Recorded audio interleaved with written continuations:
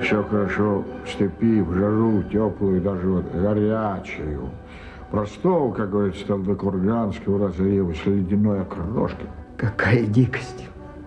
Простую, посольскую, запотевшую. Или самарский хрустальный родничок.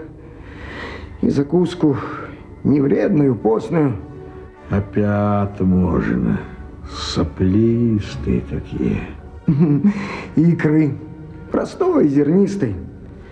Не паюсной, боже упаси, пусть и немцы кушают. И кубанской. Ну, а в такой мороз даже старокиевской.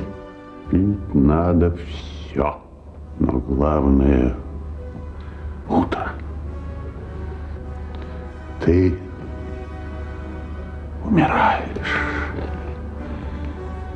на нее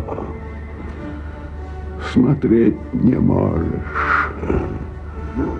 Но надо, надо взять, налить и выпить.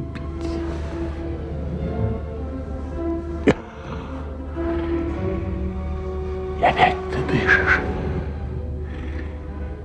Ты живешь.